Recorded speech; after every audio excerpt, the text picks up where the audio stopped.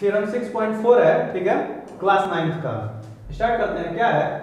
If a transversal intersect two parallel lines then each pair of interior angle on the same side interior angle on the same side क्या होता है? Three और five क्या है? Interior angle है। और एक ही साइड है सेम साइड है, ठीक है? तो ये हमारा क्या दिया है? Interior angle on the same side of transversal is supplementary supplementary means 180 मिलके हो रहा है। यानी कि टू शो क्या करना है हमको? एंगल 3 प्लस एंगल 5 यानी कि एंगल 3 और एंगल 5 मिलके क्या हो जा रहा है? 180 हो जा रहा है। ठीक है? हमें ये शो करना है। तो चलो, करते हैं। गिवन क्या है? AB और CD क्या है हमारा? पैरेलल लाइन उसने बोल रखा है। यानी कि करस्पॉन्डिंग एंगल क्या होगा हमारा? इक्वल होगा। यानी कि एंगल 3 और 7 क्या होगा हमारा? इक्वल होगा। एंगल 3 और 7 इक्वल होगा। ये हमारा क्या है? करस्पॉन्डिंग एंगल 1 और 5 भी हमारा क्या है? करस्पॉन्डिंग वो भी इक्वल हो सकता है। लेकिन हमें इस समय ज़रूरत किसकी है? एंगल 3 और 7 की। तो इसलिए हम एंगल 3 और 7 लिए हैं। चलो आगे करते हैं। सॉल्यूशन में क्या है हमारा? देखो एंगल 5 और 7 angle five plus angle seven is equal to क्या हो जाएगा? 180 होगा? होगा। ठीक है?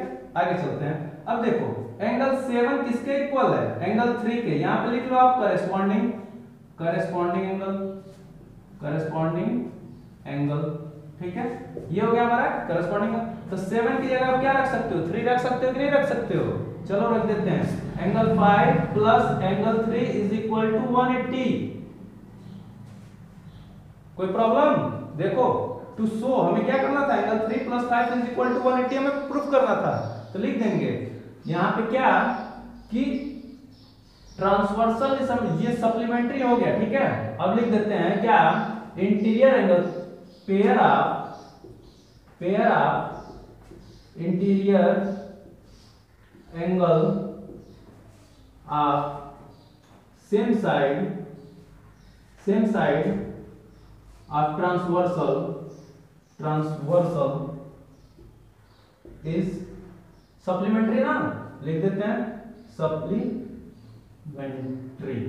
प्रूफ हो गया ये बहुत इजी था आप कर सकते हो ओके okay.